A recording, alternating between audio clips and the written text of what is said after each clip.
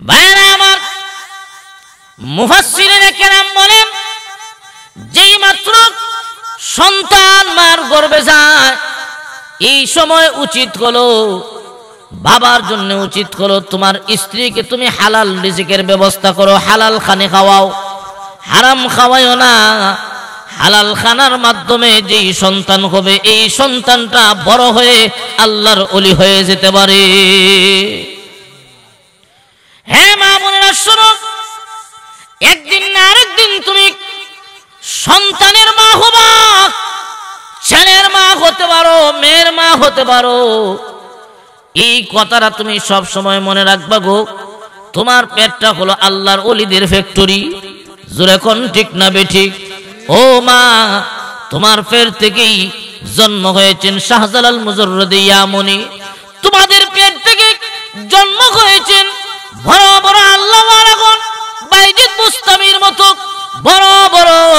বুজুর্গান দিন, তোমাদের পেট থেকেই জন্ম হয়েছেন গোমা তোমার ফ্যাক্টরি যদি ভালো হয়, এই ফ্যাক্টরির মাল ভালো হবে হবে।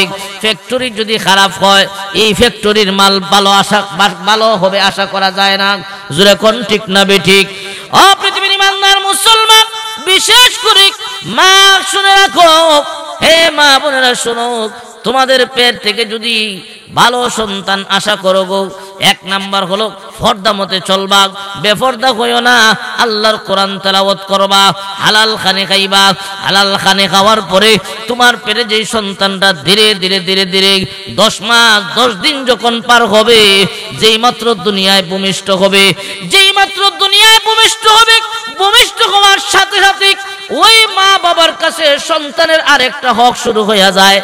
এই হকটা হলো ডান কানে আজান এবং বাম কানে একামত। কিন্তু আজান একামতটা কে দিবে? ছেলে হোক আর মেয়ে হোক, আজান একামত দিতে হবে। কিন্তু কে দিবে? এটা নিয়ে আমাদের মধ্যে অনেক ঝামেলা আছে। কোন জায়গায় দিব এটা নিয়েও ঝামেলা। আছে না নাই? সন্তান হইছে গড়।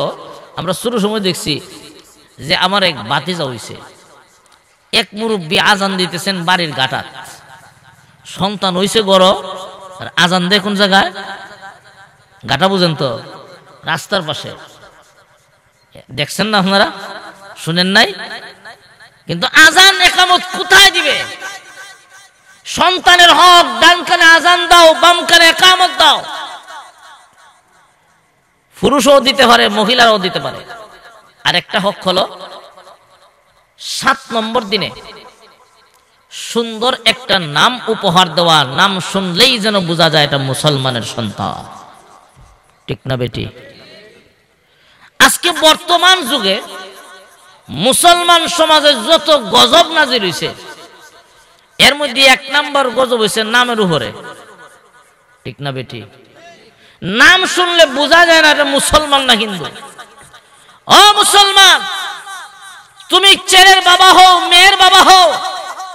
তোমার উপর তোমার সন্তানের হক, ছেলে মেয়ের হক, সুন্দর একটা ইসলামী নাম উপহার দিবা। এটা মা বাবার উপর সন্তানের হক।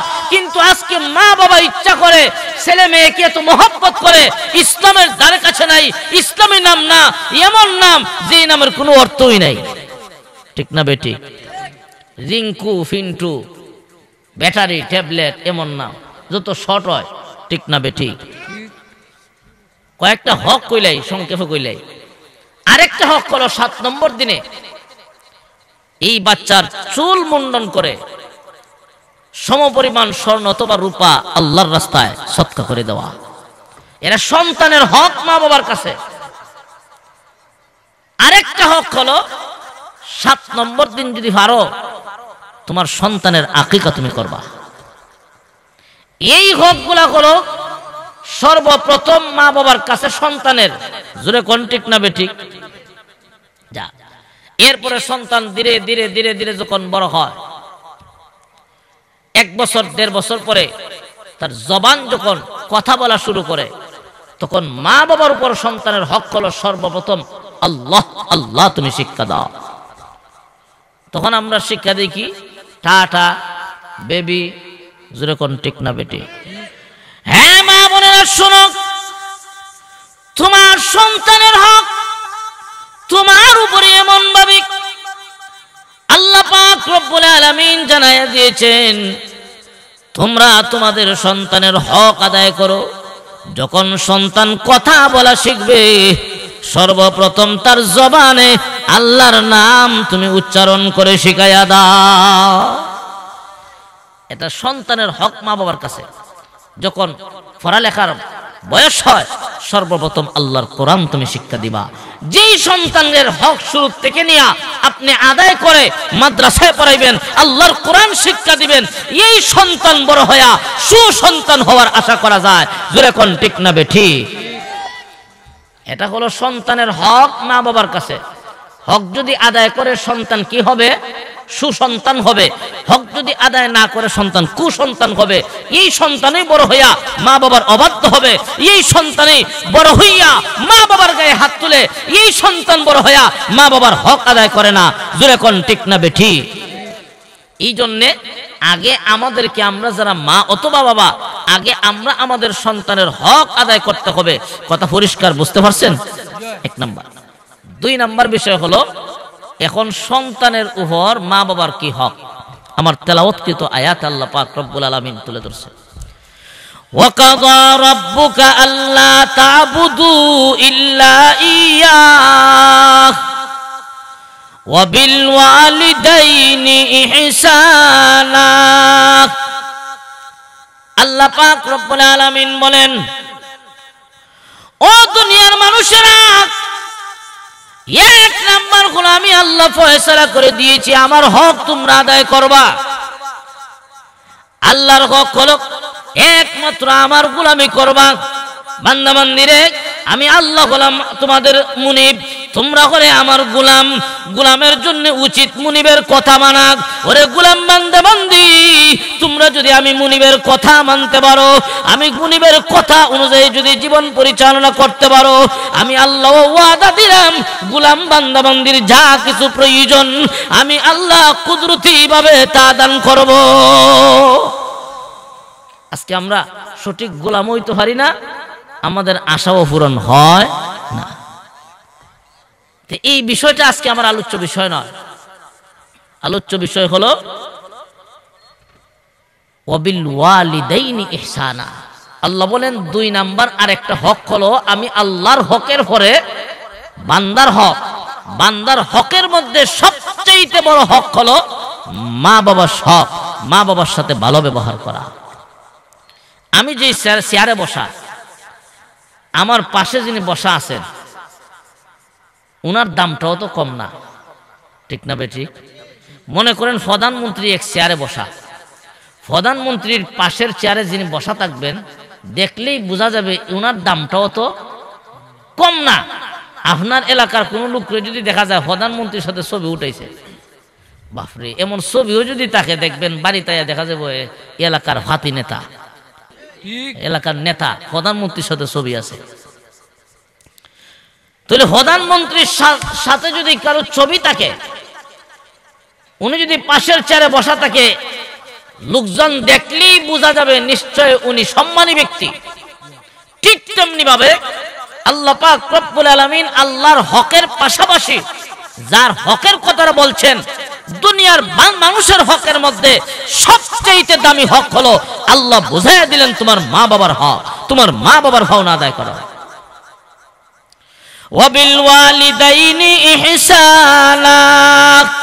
আল্লাহ পাক রব্বুল আলামিন বলেন ও দুনিয়ার মানুষের, আমি আল্লাহ জানাই দিলাম, আমার হক আদায় করার পরপরই তোমরা তোমাদের মা বাবার হক আদায় করো মা বাবার সাথে ভালো ব্যবহার করো মা বাবার সাথে সদাচরণ করো। মা বাবার হক মা বাবা এত সম্মানী, এত ইজ্জত মর্যাদা কেন? মা বাবার হক অধিকার এত বেশি কেন? আল্লামা মহিউদ্দিন ইবনুল আরবি রহমতুল্লাহ উল্লেখ করেছেন মা বাবার সম্মান মা বাবার ইজ্জত মা বাবার অধিকার এত বেশি হওয়ার একমাত্র কারণ হলো, দুইটা কারণ। দুইটা কারণে মা বাবার এত সম্মান। এক নাম্বার কারণ হলো, হে দুনিয়ার মানুষেরা, এক নাম্বার কারণ হলো, মহান আল্লাহ এই দুনিয়ার জমিনে মানুষ সৃষ্টি করতে গিয়া তোমার মা এবং বাবাকে মহান আল্লাহ মাধ্যম হিসাবে ব্যবহার করেছে। তোমার মা বাবার মাধ্যম বানাইছেন দুনিয়ায় মানুষ সৃষ্টি করতে গিয়া। আজকে তাকায় দেখেন, এই দুনিয়াতে অসংখ্য অগণিত মাখলুক, আঠারো হাজার মাখলুকাত, মতান্তরে আশি হাজার মাখলুকাত, এর কম বেশি মাখলুকাত, এর মধ্যে সবচেয়ে শ্রেষ্ঠ মাখলুকাত হলো আশরাফুল মাখলুকাত, সৃষ্টির শ্রেষ্ঠ জাতি হলো মানুষ, ঠিক না বেঠি? এই মানুষকে আল্লাহ পাক সৃষ্টি করছেন তিনটা পদ্ধতিতে। কয়টা পদ্ধতিতে? যে মানুষ দুনিয়ায় সৃষ্টি করতে গিয়া আল্লাহ পাক রব্বুল আলমিন কয়টা পদ্ধতিতে বানাইছেন? কয়টা পদ্ধতি? কয়টা পদ্ধতি? তিনটা একটা পদ্ধতি হলো, মা ওনাই বা হনাই মা বাপসারা হজরতে আদম আলহি সালাম একটা পদ্ধতি। আরেকটা পদ্ধতি হলো, মা আছেন বাবা নাই হজরতে ঈসা আলহি সালাম কয়টা পদ্ধতি গেছে? দুইটা। এইগুলা হলো, এই দুইটা পদ্ধতি হলো, আল্লাহ পাক তার কুদরতের নিদর্শন বুঝাইছেন। তিন নম্বর আর একটা পদ্ধতি হলো, মা এবং বাবা, স্বামী, স্ত্রী দুইজনের মিলনের মাধ্যমে আল্লাহ পাক রব্বুল আলমিন মানুষ সৃষ্টি করেছে। এই তিন পদ্ধতির মধ্য থেকে সচরাচর মানুষ সৃষ্টি করেন আল্লাহ পাক রব্বুল আলমিন। মা এবং বাবা এই দুইজনের মাধ্যমে। কিন্তু মার মাধ্যমে বাবা ছাড়া আল্লাহ সন্তান জন্ম দিলেন, এই কথা দুনিয়ার মানুষকে বুঝাই দিলেন। ও দুনিয়ার মানুষেরা, শুধু স্বামী স্ত্রী মিলনের মাধ্যমে সন্তান হয়, এখানে আমি আল্লাহর কুদরত নিহত রয়েছে। এই জিনিসটা তোমরা ভুলে যাও। তোমাদেরকে স্মরণ করায় দেওয়ার জন্য, আমি আল্লাহর কুদরতের কথা স্মরণ করানোর জন্য, আমি আল্লাহ পৃথিবীর জমিনে একটা ইতিহাস জারি রাখলাম যে বাবা ছাড়াও আমি আল্লাহ সন্তান জন্ম দিতে পারি। এটা তোমরা স্মরণ করায় দিলাম। তোমরা মনে করো, স্বামী স্ত্রী মিলনের মাধ্যমে সন্তান হয়, আমি আল্লাহর কুদরত নাই, আমি আল্লাহর শক্তি এখানে কাজ করে না। কি কন? পৃথিবীর মানুষেরা এই দুনিয়ার জমিনে মানুষ সৃষ্টি করতে গিয়া মহান আল্লাহ তোমার মা এবং বাবাকে মাধ্যম বানাইছেন। এই দুজনের মাধ্যমে মহান আল্লাহ অসংখ্য অগণিত নারী পুরুষ দুনিয়ার জমিনে বানাইছেন। একটু তাকায়া দেখেন, এক নাম্বার কারণ হলো তোমার মা এবং বাবা মাধ্যম। দুই নাম্বার কারণ হলো মহান আল্লাহর একটা সিফত, একটা গুণ হলো আল্লাহ হলেন রব। রব শব্দ শব্দের অর্থ হলো লালন পালন কর্তা। জোরে কোন ঠিক না বেঠিক দুনিয়ার মানুষের, আল্লাহ আলামিনের ওই রব সিফতটা লালন পালন করার যে সিফতটা এই সিফতটা মহান আল্লাহ সর্বপ্রথম প্রকাশ করায় থাকেন তোমার মা এবং বাবার মাধ্যমে। তাকায়া দেখেন, সন্তান হাঁটতে পারে না, হাত নাড়াচড়া করতে পারে না, নিজের বুঝ শক্তি নাই। একটা মা তার সন্তানকে লালন পালন করে, জোরে কোন ঠিক না বেঠিক আরও জোরে কন, কেমন লক্ষ্য করে দেখেন। মা বাবা নিজে কষ্ট করে কিন্তু বাচ্চাকে কষ্ট দেয় না, সন্তানকে কষ্ট দেয় না। মা বাবা এমন ভাবে ছোট থেকে বড় বানায়, সন্তানকে লালন পালন করে। লালন পালন করার গুণ ছিল মহান আল্লাহর। আল্লাহর এই গুণটা সর্বপ্রথম প্রকাশ করাইছেন তোমার মা বাবার মাধ্যমে। আল্লামা মহিউদ্দিন ইবনুল আরবি রহমতুল্লাহ লেখেন, এই দুইটা কারণেই মহান আল্লাহ মা বাবার হককে অগ্রাধিকার দিয়েছে। মা বাবার হক বেশি। তার কারণ হলো কয়টা? কয়টা কারণ? একটা হলো মা বাবার আল্লাহ মাধ্যম বানাইছেন। দুই নাম্বার হলো আল্লাহর রব সিফতটা মা বাবার কাছ থেকে আল্লাহ সর্বপ্রথম প্রকাশ করাইছেন। জুরে কোন ঠিক না বেঠি তাহলে ভাইলাম, মা বাবার হক যেহেতু বেশি, এই হকটা কীভাবে আদায় করব? হক কীভাবে আদায় করব? আল্লামা ইমামউদ্দিন ইবনে কাসির রহমতুল্লাহ লেখেন যে সন্তান সব সময় মা বাবার সাথে ভালো ব্যবহার করবে সন্তান সব সময় ফায়া না ফায়া মা বাবার প্রতি সন্তুষ্ট থাকবে। আজকে যদি তোমার বাবা ওনার সম্পদ থেকে তোমার বঞ্চিত কইরা দেয় দেয় না, দুনিয়ার কোন ছেলেটা আছে এই বাবার সাথে ভালো ব্যবহার করবে? করবেন? আল্লাহ, আজকে যদি তোমার বাবা তোমার সম্পদ দেয় না বের করে দেয় তখন তুমিও রেগে যাবা। তোমার বাবার সাথে তুমি ভালো ব্যবহার করবা? না। তোমার বাবার সাথে তুমি খারাপ ব্যবহার করবে।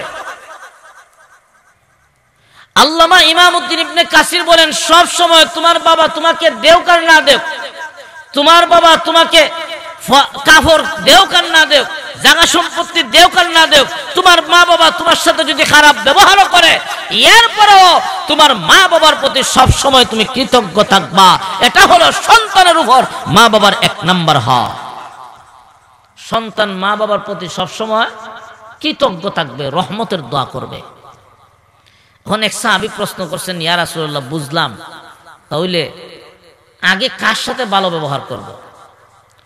মা এবং বাবা এই দুজনের মধ্যে সবচেয়ে বেশি কার সাথে ব্যবহার করব ভালো আল্লাহ রসুল বলেন, তোমার মা।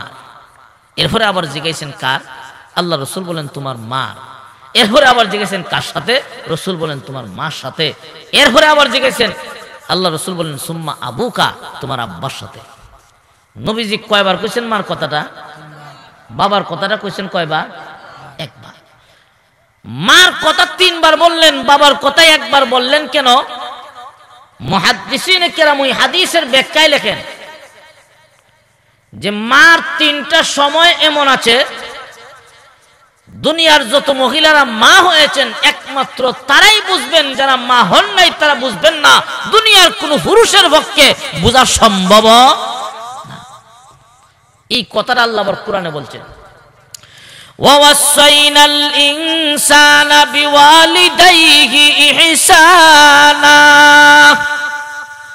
حملته أمه كرها ووضعته كرها وحمله وفصاله ثلاثون شهرا আল্লাহ পাক রব্বুল আলামিন বলেন ও দুনিয়ার মানুষেরা আমি আল্লাহ তোমাদেরকে নির্দেশ দিলাম আমি আল্লাহ ফয়সালা দিলাম, আমি আল্লাহ তোমাদেরকে ওসিয়ত করলাম, আমি আল্লাহ হুকুম দিলাম, ও দুনিয়ার মানুষেরা তোমরা তোমাদের মা বাবার সাথে ভালো ব্যবহার করো।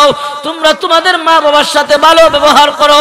কেন জানো নি তোমার মার তিনটা সময় এমন আছে, তোমার মা তোমাকে কষ্টের সাথে গর্ভে ধারণ করেছে, তোমার মা তোমাকে কষ্টের সাথে দুনিয়ায় ভূমিষ্ঠ করেছে, তোমার মা তোমাকে কষ্টের সাথে দুই বছর পর্যন্ত দুধ পান করাইল। এই যে তিনটা সময়, একটা হলো গর্ভধারণ করা, দুই নাম্বার হলো ভূমিষ্ঠ হওয়া, তিন নাম্বার হলো দুই বছর পর্যন্ত ওই সন্তানকে দুধ পান করানোর কষ্ট। এই যে তিনটা কষ্ট, দুনিয়ার যত মা, মহিলারা মা হয়েছেন, একমাত্র তারাই বুঝবেন। যারা মা হন নাই, তারা বুঝবেন না। আর দুনিয়ার কোনো পুরুষের পক্ষে বুঝাবো সম্ভব না।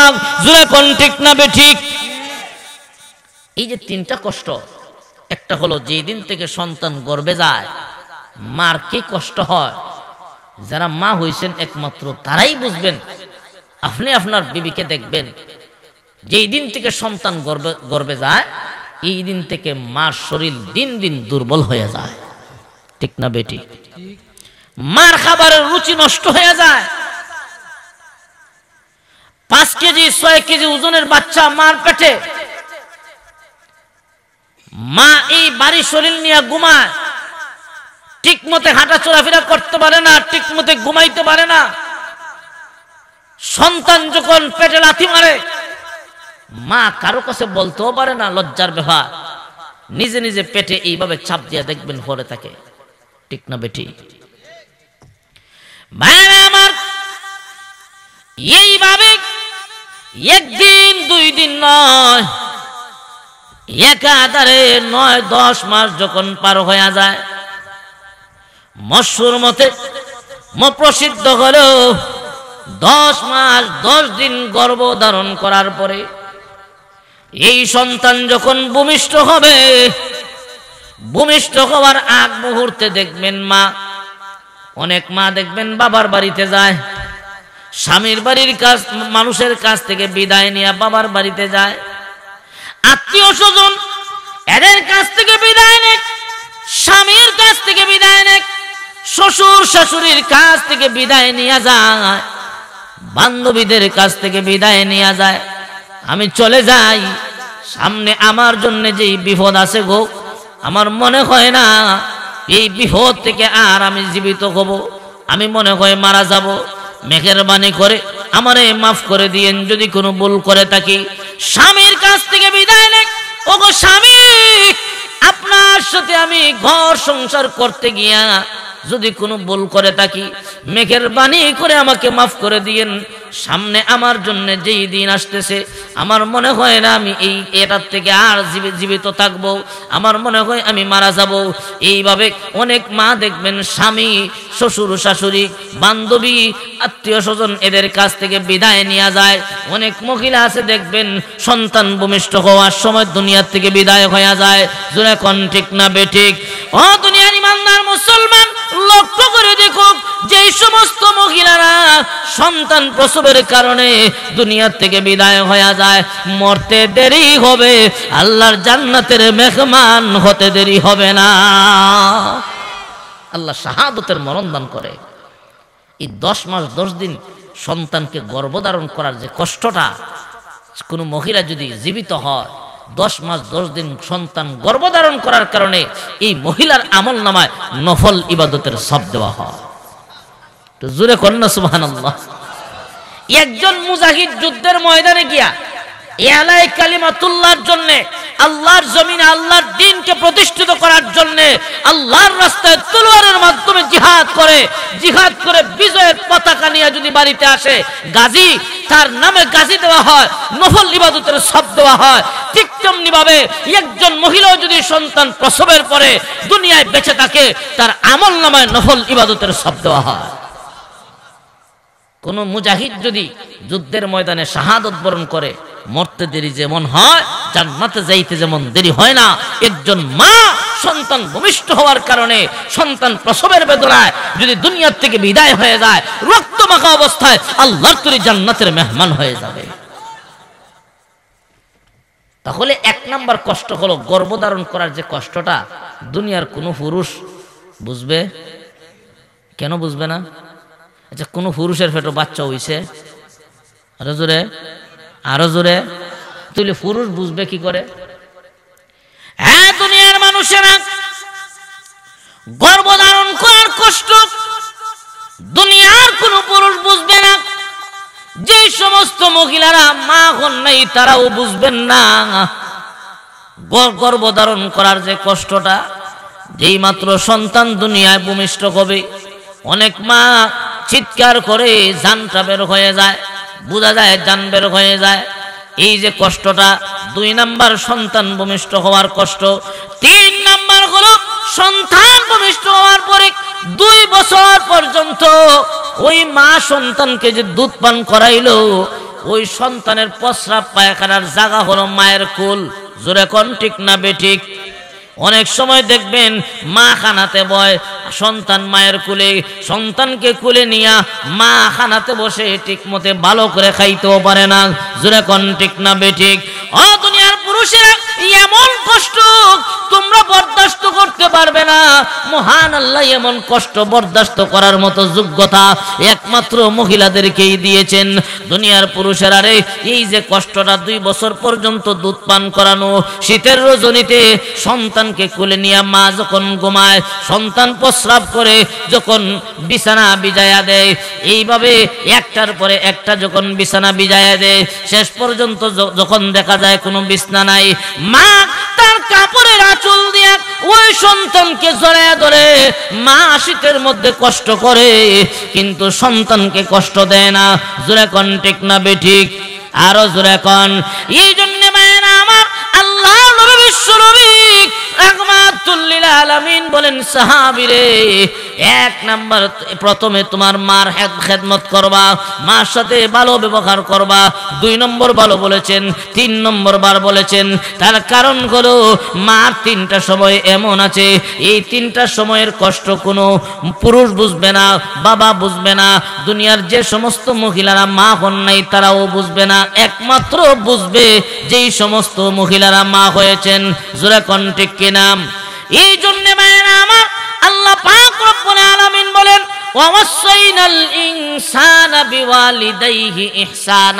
আমি আল্লাহ তোমাদেরকে নির্দেশ দিলাম, তোমরা তোমাদের মা বাবার সাথে খারাপ ব্যবহার করিও না, তোমরা তোমাদের মা বাবার সাথে ভালো ব্যবহার করো। পৃথিবীর মানুষেরা রে, তোমার মা বাবার সাথে যদি ভালো ব্যবহার করতে পারো, তাহলে দুনিয়াতেও লাভ, আখেরাতেও লাভ। জোরে কোন ঠিক না বেঠিক মা বাবার সাথে আল্লাহর হুকুম মোতাবেক ভালো ব্যবহার করলে কি লাভ? আল্লাহর নবীর একজন সাহাবী আল্লাহর নবীকে জিজ্ঞাসা করলেন, ওগো নবীজি, মা হাক্কুল ওয়ালিদাইনি আলা ওয়ালাদিহি, সন্তানের উপর মা বাবার কি হক? আল্লাহর নবী বলেন, কালে হুমা জান্নাতুকা ওয়া নারুকা, তোমার মা বাবার হক হলো, হয় তোমার জন্য জান্নাত আর না হয় জাহান্নাম। মহাদ্দিসিনে কেরাম বলেন ও দুনিয়ার মানুষেরা, তোমার মা বাবা যদি তোমার প্রতি সন্তুষ্ট থাকে, তোমার মা বাবা যদি তোমার প্রতি রাজি থাকে, খুশি থাকে, আল্লাহ বলেন, আমিও খুশি। আরও আসতে কোন সুবান আল্লাহ হৃদর রব্বি ফি হৃদল ওয়ালিদাইন। মা বাবার সন্তুষ্টি আল্লাহ সন্তুষ্ট। মা অসন্তুষ্ট হয়ে যায়। আল্লাহ পাক বলেন, আমিও অসন্তুষ্ট। তোমার মা বাবাকে অসন্তুষ্ট রাইকা তুমি যত বড় আল্লাহর অলি হও না কেন, তোমার একটা আমলও আমি আল্লাহর কাছে পৌঁছবে না।